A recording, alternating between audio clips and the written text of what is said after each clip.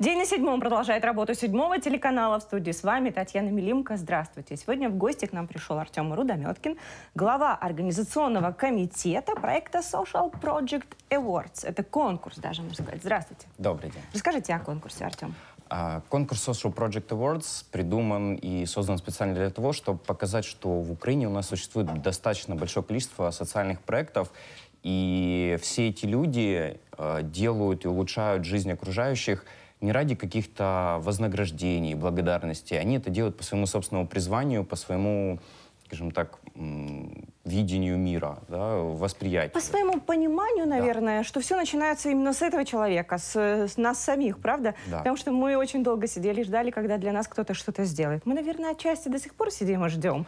Но появляется все больше людей, которые берут э, руль да, в свои свои руки, руки. и начинают э, двигаться вперед и двигать вперед всю землю, вращать ее. И специально вот как раз для этого, чтобы показать, что этих людей много, и был создан этот конкурс. И одна из причин, в том числе, почему он был создан, потому что по собственному опыту знаю, общаюсь с другими ребятами, тоже с ними э, как бы, постоянно возникает эта проблема, когда раз в год минимум возникает мысль, а для кого это? Зачем я это делаю? Вообще, кому-то это надо или это надо только одному мне? Потому что очень часто, когда мы делаем какие-либо проекты, да, мы работаем с определенной целевой аудиторией, мы видим их глаза, мы видим, как меняется их жизнь, а что дальше? Ну вот они пришли, да, они вос- м, получили какие-то знания, мы им помогли, а остальные? И кажется такое впечатление, что вот ты сделал для каких-то 10-15 человек и все.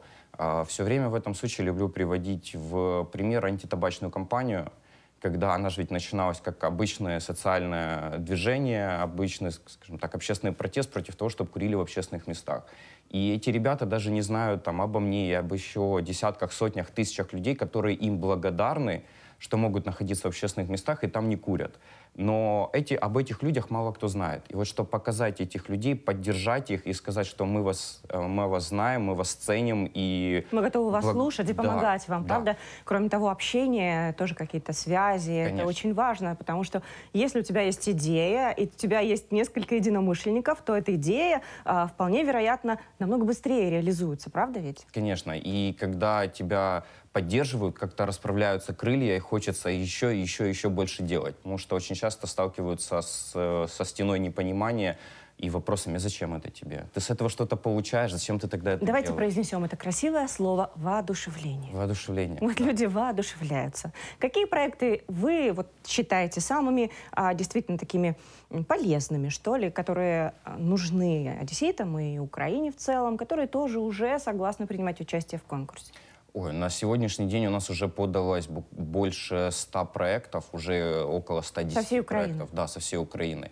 И есть проекты как какие-то маленькие местные проекты, так и более масштабные всеукраинского формата. Но при всем при этом, а, если так взять, то они важны если это маленький проект, они важны для их локальной территории, но для них это важный проект. Установить где-то лавочки, там, помогать пенсионерам, установить те же самые пандусы, чтобы люди с ограниченными возможностями могли передвигаться, им было это удобно.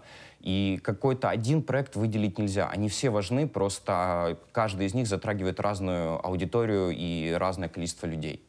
Сейчас э, проходит сбор заявок, Да. правильно? Да. До какого числа, с какого и что нужно знать, где регистрироваться, как правильно составить э, а, свою, свой регистрационный лист, скажем так, да, подать свое заявление. А, Заявки мы принимаем с 19 сентября и вплоть до 8 ноября включительно. А, Подать заявку очень просто. Достаточно зайти на сайт awards.org.ua. Там есть э, кнопочка «Подать заявку», и в Google форме достаточно простая, с подробным описанием, подсказками, где, как, что надо заполнять. Э, Потратить буквально достаточно 5-7 минут для того, чтобы подать заявку. Единственное, э, момент, что следует внимательно читать, о чем там необходимо писать. Допустим, если это цели и задачи, то необходимо написать о целях и задачах, а не в целом, что это за проект и чего вы хотите в конечном итоге сделать. Ну хорошо, с лавочками, например, цели и задачи какие могут быть? Давайте пример какой-то приведем. А, Пример сейчас приведу. У нас даже подался один из таких проектов, который лично мне вот э, запал. Он кажется сейчас трудно реализуемым, но в Европе он уже существует. Это создать единую медицинскую базу данных на всю Украину, и все данные, чтобы о каждом пациенте хранились в облаке. То есть цель его... Такое уже практикуют во многих странах, да, Да. и уже давно, по-моему, Да, там но вплоть в- до генетических В каких-то Украине этого нет. особенностей. К сожалению, этого нет, и мы сталкиваемся с тем, что когда человек попадает в какую-то ситуацию, ему он либо в другом городе находится, и ему необходимо медицинское, скажем так, вмешательство, помощь, врачи очень часто не знают, ну, какие у него есть противопоказания, на что есть аллергия, а на- имея эту общую базу данных, они сразу же смогут быстро получить всю, скажем так, историю болезней, Такая интернет-карта. Я сама наблюдала такую картину в Эстонии, да, недавно была, и рассказывают теперь очень много о том, как у них это все реализуется. И у них на таком облаке хранится информация не только медицинская, но и вплоть до того, что если тебе нужна няня, например, ты можешь туда дать объявление какое-то. Либо если у тебя какие-то были нарушения, а, там сел, где-то нарушил на э, машине, да, какие-то правила, у тебя все тоже вносится вот на это облако, и в любой точке мира ты можешь почитать информацию об определенном человеке. Это здорово. И вот как раз вот с таких вот проектов, когда они начинаются с общественных инициатив, общественных движений, в конечном итоге они выходят на более масштабный уровень. И специально для этого мы стараемся в качестве экспертов, партнеров привлечь, привлечь и государственные структуры, и бизнес-структуры, чтобы своеобразный такой э, триумвират сделать. С одной стороны, общественники, которые максимально быстро могут реагировать на любую проблему возникающую. С другой стороны, государство, которое с точки зрения законодательства, административных ресурсов может помогать развивать эту инициативу. И бизнес, который на первых порах способен будет поддерживать эти проекты и финансировать их развитие. Кого вы привлекаете из этих трех областей? Привлекаем всех. На данный момент мы заручились поддержкой Министерства молодежи и спорта Украины. А, У нас в качестве экспертов выступает это и Ан- Андрей Куликов, директор громадского радио, и маркетологи э, Дмитрий Джиджула, и интернет-маркетолог Максим Зубенко, и директор развития центра Ахалар, это который непосредственно специализируется на социальных проектах. То есть мы стараемся собрать максимально разнообразную э, комиссию, скажем так, членов жюри, которые с разных точек зрения смогут это все оценить и выставить оценки. Эти члены жюри, они будут ознакомливаться со всеми проектами? Мы ведь, мы ведь понимаем, что их очень много. Если за короткий срок подали уже 100, да, вы говорили, 100 с чем-то заявок, то до ноября будет их еще больше. Я полагаю, что до полутысячи где-то, наверное, дойдет. Будут ли они все читать эти проекты, либо будет еще какой-то предварительный отбор? И будет, естественно, проходит предварительный отбор, э, потому что если проекты заполнены не полностью, либо же предоставлены не, ну, не вполне корректные данные, э, как у нас может иногда происходить, и такое вот даже бывало, когда в проект, э, может быть, это неправильно рассказывать, но когда проект прям так целиком и прямым текстом пишется «купить фотоаппарат», ну, как бы купить фотоаппарат хорошо, но в чем социальность проекта? В чем вот покупка фотоаппарата сможет улучшить... Зачем тебе Да. фотоаппарат? Просто фотографировать дома цветы, да, например, или все-таки создавать социальную рекламу, фотографировать там э, урны какие-то, да, которые нужны, или как они Да. выглядят где-то даже там за рубежом, пускай. И если вот просто написано «купить фотоаппарат» без какого-либо объяснения, мы связываемся с автором, чтобы он либо внес коррективы и объяснил, в чем же социальность проекта. Если же этого не происходит, мы просто проект снимаем, и он даже не проходит. Так, есть ли возрастные ограничения? Потому что мне прям показалось, что заявку купить фотоаппарат подал какой-то мальчик лет 10. А Возрастных ограничений э, как таковых мы не ставим, потому что э, социальные проекты э, для того, чтобы ими заниматься, не обязательно достичь какого-то возраста. Обычно, да, у нас это происходит там лет с 16, с 15 люди начинают заниматься волонтерством и более уже, скажем так, осознанно и непосредственно ведут свои проекты, это где-то около 20 и выше. А, Точно так же у нас нет и граничного срока воз- э, граничного возраста, потому что у нас подавали заявки люди, которым уже порядка 50-60 лет, но они стараются со своей стороны, как бы это правильно сказать, а, они столкнулись с этой проблемой, и решая свою собственную проблему, у них появляется социальный проект, благодаря которому они решают проблему многих других людей. Когда будет оглашение результатов? Когда члены жюри будут э, ознакомливаться с теми проектами, которые вы отберете предварительно, да, уже такие полные оформленные проекты? И, собственно, когда можно будет узнать результаты? Как это будет происходить? Это будет большой фестиваль, а, это будет, э, а, может быть, какой-то конкурс э, прям вот с розыгрышами такими публичными, с выступлениями разных групп. Расскажите. А, сама церемония награждения и итоговые результаты, кто же победил, кто какие места занял, будет только 9 декабря. Она будет проходить здесь, в Одессе.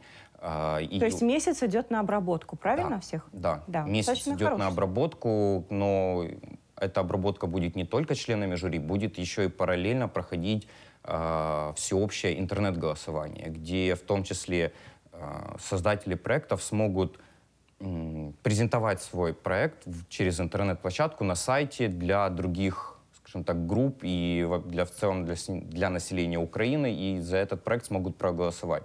И совместный балл экспертов и голосования и будет определять уже конечный результат, какой проект выходит вперед, какой не добирает достаточное количество баллов. Проходить это все будет 9 декабря здесь, в Одессе. Не хотим ни в какой другой город, в каком-либо другом городе проводить церемонию награждения. И э, мы привлекаем партнеров, которые смогут поддержать э, понравившиеся им проекты, потому что не обязательно занять первое место для того, чтобы получить какую-либо поддержку, либо консультацию. Важна реализация. Да, да? важна реализация. Мы специально не ограничиваем в этом э, никого, потому что э, первое место, которое, тот человек, который займет первое место, он уже автоматом получит достаточное количество и внимания, и поддержки, и консультаций, и финансирования. А те проекты, которые подались, но могли не занять какое-то место, они могут быть хорошими, они могут быть интересными, полезными.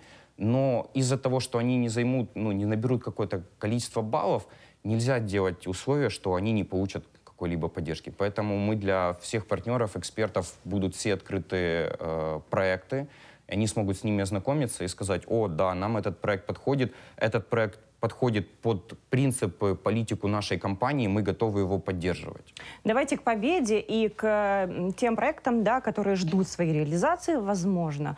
Вот э, помимо поддержки какой-то финансовой, наверняка тоже, да, есть финансовая и менеджмент, и... Мы не ставим э, во главу угла финансовую поддержку. У нас основное... Но для реализации она немаловажна. А, мы принимаем заявки от тех проектов, которые уже были реализованы, и те проекты, которые уже реализуются.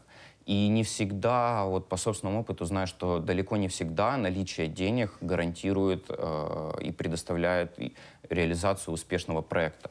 Иногда достаточно хорошей, сважной командной работы и действительно, как это говорится, пахать, пахать, еще раз пахать. Потому что мог, могут дать деньги, а как их использовать, куда их правильно использовать? Просто спустить, ну, и если мы, опять же, ставим во главу угла деньги, то мы ничем тогда не отличаемся от других грантодателей, от фондов, которые точно так же это предоставляют. Какой же вы результат тогда видите? Результат мы видим — это собрать максимально большое количество проектов, собрать максимально большое количество людей в одном пространстве с одинаковыми ценностями, показать, что общественные проекты и общественная деятельность — это очень важно, это почетно, и что общественная деятельность в какой-то степени и э, общественные активисты в какой-то степени являются даже, я не побоюсь этого слова, пятой властью в этой стране потому что они способны двигать социальные инициативы какие-то. Да, это может быть сложно, это может быть долго, но они являются тем движком и той искрой, которая способна зажечь. Я думаю, на этих прекрасных словах давайте еще раз напомним, где найти информацию, где можно зарегистрироваться и подать свою заявку, если есть желающие. А, подавайте свою заявку на сайт awards.org.ua. А, читайте, там есть вся необходимая информация, есть почта, есть номера телефонов. Связывайтесь, задавайте вопросы, и мы будем очень рады увидеть вашу заявку и предоставить ее на всеобщее обозрение. Спасибо огромное, что вы пришли к нам. Я напоминаю, в гостях у нас Артем Рудометкин, глава организационного комитета Social Project Awards. Спасибо большое еще раз. Спасибо. Это была программа «День на седьмом». В студии провела ее с вами Татьяна Велимка. Сегодня прозвучало очень красивое слово, которое хочется повторить. Типа «воодушевляйтесь» и «воодушевляйте».